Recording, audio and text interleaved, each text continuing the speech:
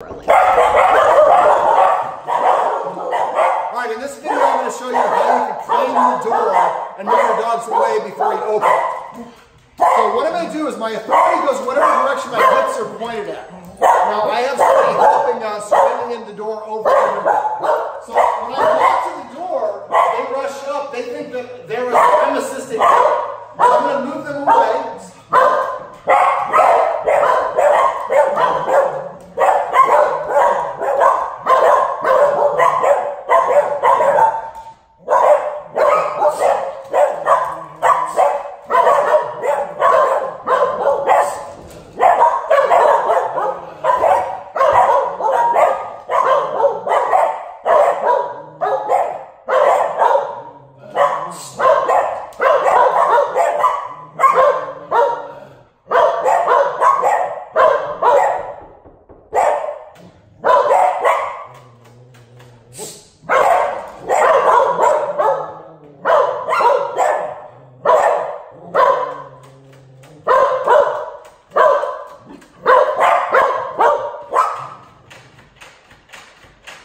I don't care about the barking. What I'm trying to do is help the dogs practice not being in this area as a ritual. All right, so hold off on the barking and knocking for now.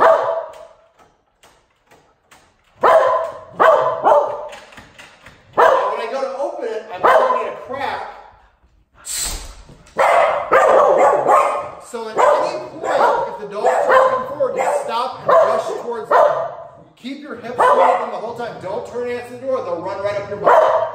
So do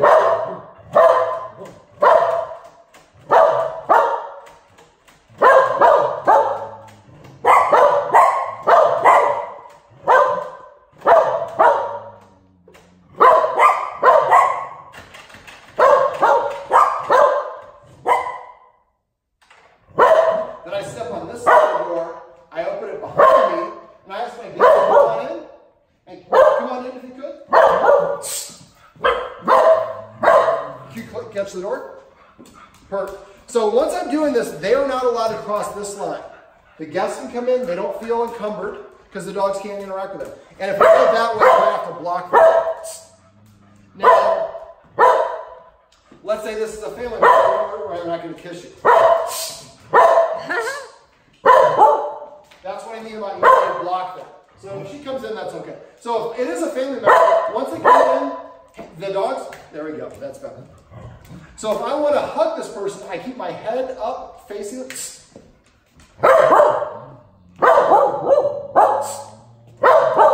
And we have a painter here. Sometimes I actually put painter's tape so I know exactly what the line is. I pause between and as soon as I cross the line, I rush towards them. And that protesting will get better as we go. But if I react to that, that's going to be an issue. So if I wanted to kiss, I would turn, I'd keep my shoulders pointed, and I'd turn my head and kiss. If I want to hug, I keep my face pointed there. And so they are not allowed to interact with your guest until your guest crosses this threshold.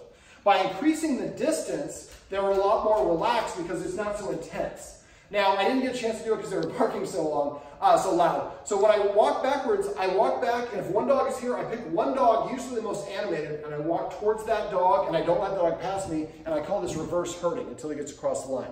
Let's say the other dog's there. I take a step backwards, and my hips are still pointing at that dog, and I get behind this dog. Now I reverse herd this dog. And the other, your two boys kind of moved away from the door, so I think she's going to be probably the hardest one.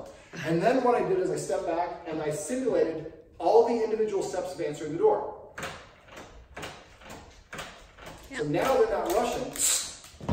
They but she stopped at the. That- but I want to make it as loud as I possibly can. I want to make it as hard as possible when I'm practicing. So when a normal person comes and knocks once, that's easy for them. If you do this enough, what will happen is eventually the dogs will just sit at your door and they'll come right up here and they'll be like, are you going to answer that? And then they see you answering the door as opposed to them doing it themselves. So these are tips and tricks on how you can claim the area around the door to help your dogs stop accosting your guest.